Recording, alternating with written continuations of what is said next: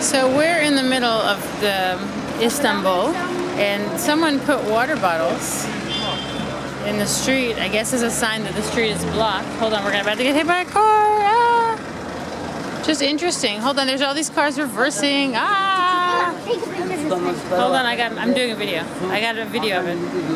And I just want to see. Wait, I want to see why the water bottles are there. But all these cars are in the way. Would you let me finish what I'm doing? I'm in the middle of something. So I wanted to get a glimpse of this, if I can.